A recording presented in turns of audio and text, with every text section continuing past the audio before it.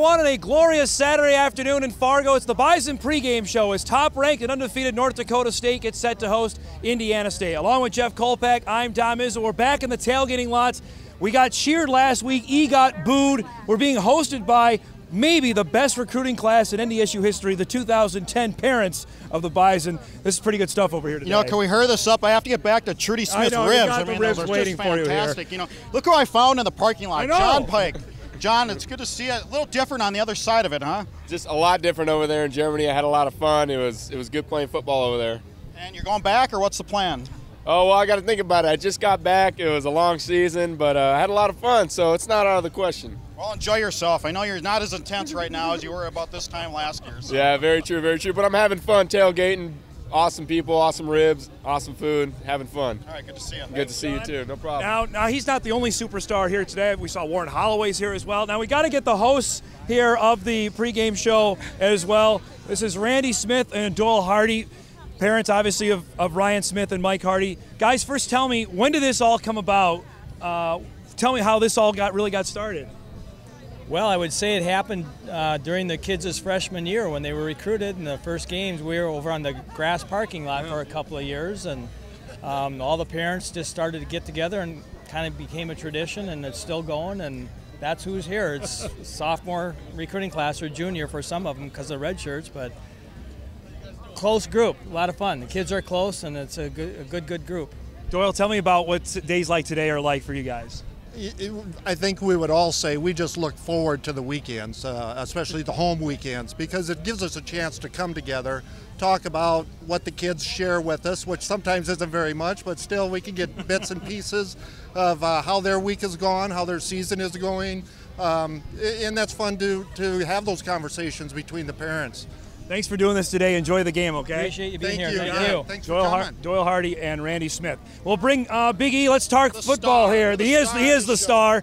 Let's talk some football here. Indiana State comes in with a record of four and two. They got a big win last week over Missouri State. Obviously, Jeff, they're led by Shakir Bell, maybe the best player in all of FCS football. You can talk about Shakir Bell, and he is one of the best players in FCS football. But really made Indiana State's team in the last year or two is a much better defense. Remember when Trent Miles took over? You and I could have ran through that team. now they got a pair of linebackers who are in the top 10 of tackles in FCS.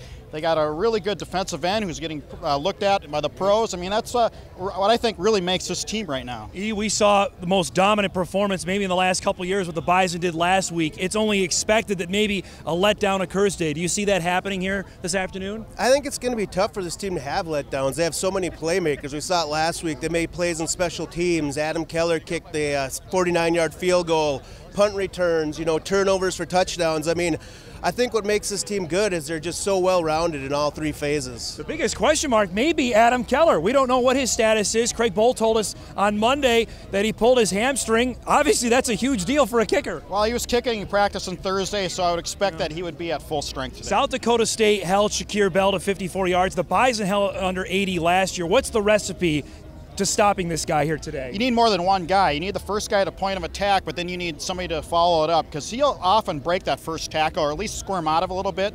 So you need two guys doing it every time. You mentioned how good Brock Jensen has played. What are you expecting out of him today? And also, it looks like Sam Ojuri and John Crockett, that one-two punches back for NDSU. I think you just expect the same efficient effort you get from Brock Jensen. I mean, we've talked about it on this blog. 19 and one in his last 20 starts, 24 touchdowns versus four interceptions in that span. I mean, that that's about as good as it, as it gets at quarterback. All 10 Missouri Valley teams are playing today. Let's go through the games. USD at Missouri State. What do you pick there? Uh, Missouri State at home, I think they'll finally break through. You got the Bears win. I'll take the Coyotes there.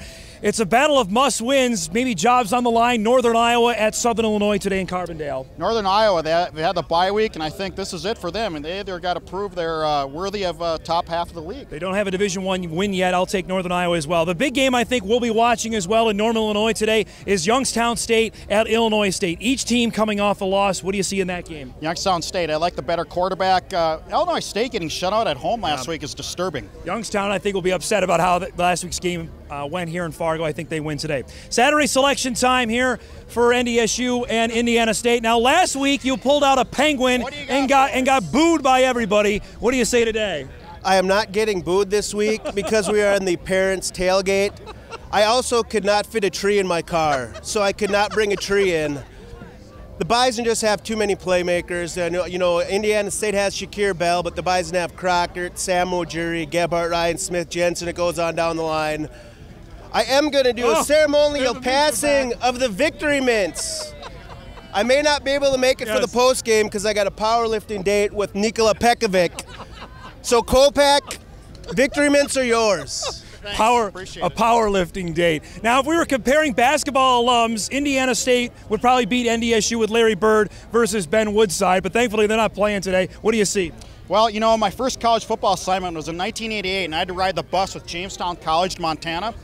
The head coach there is Rollie Greeno. Oh, and I came across a book today, was given on Trudy Smith's father. So Trudy Smith's ribs, her father, I got to go with the Bison.